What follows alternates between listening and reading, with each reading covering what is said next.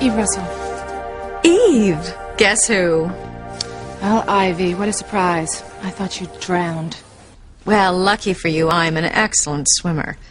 You shouldn't have abandoned me, Eve. Julian almost found me on the boat. Oh, I wish he had. Then this whole nightmare would be over. Well, for some people perhaps, but not for you. No, if I'd been caught, the first words out of my mouth would have been your name. How do you think Grace and Sam would feel if they knew that I was only on Sam's boat because of your excellent tip? Oh, how dare you put me in the position to betray my closest friends? No, you put yourself in that position years ago by sleeping with Julian, and now you have to pay the piper by helping me get Sam into my bed. No, I'm not going to betray her again. Not after seeing how upset she was on the dock. I'm not going to do it, Ivy. I would really reconsider that, Eve. Unless, of course, you want your husband, your daughters, and your community to know that you're nothing but a common whore. Yes, I'll be talking to you soon, good doctor.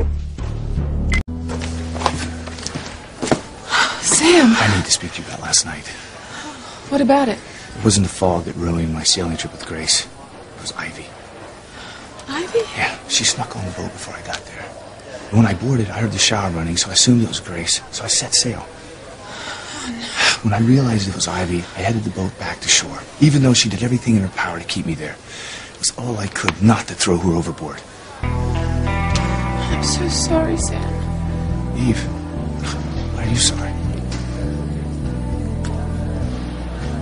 Eve, why are you sorry about Ivy's latest pathetic effort to seduce me? I just meant that I... Look, I blame her and whoever told her that Grace and I plan to go sailing. If I ever find out who's giving Ivy the ammunition to try to hurt my marriage, God help them. So you think that Ivy hasn't given up? I used to. Not anymore. I mean, if anything, she's stepping up the program to try to get me to cheat on Grace. Eve, I am at wit's end here. I really need your help. You're a woman. And, and you're my wife's best friend. Like, how do I get Ivy to stop trying to destroy my marriage? I wish that I could help you, Sam, but Ivy just doesn't seem like someone who's amenable to reason. She's not. I've told her repeatedly that I have no interest in picking up where we left off years ago. But it's, it's like she doesn't listen. Or she just doesn't want to. She's so used to getting her own way. Well, she's not this time. I'll do anything I can to keep her from hurting Grace. I, I almost told Grace the whole story last night. She didn't feel like talking.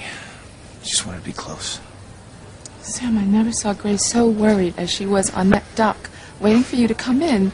I was never so happy to see anyone as I was when I saw her. She's my life, Eve. And I'm not gonna let Ivy destroy it. What are you going to do? Well, for starters, I'm not gonna tell anybody where I plan to go have a vacation with Grace. Except for you and TC, of course. I mean, but that's safe. I'm so sorry, Sam. I mean, I'm I'm just so sorry that you have to go through all of this. So am I. But, uh, thanks. I'm, I'm gonna let you get back to work,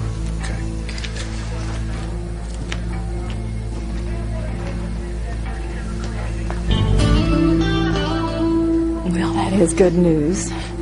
Sam will keep telling you all about his secret getaways, and you can tell me. You're just out of your mind. Didn't you learn anything at all from last night, Ivy? Julian came that close to catching you. Well, I'll just be more careful next time, that's all. Well, since you were eavesdropping, didn't you just hear Sam say that he doesn't want anything to do with you? Oh, that's what he says now. But I know something that'll change his mind and his heart. Ivy, there is nothing that you can say or do that is going to make Sam want you. Actually, there is. But the price tag, it's a little steep, and I'm not quite sure I'm ready to pay it just yet.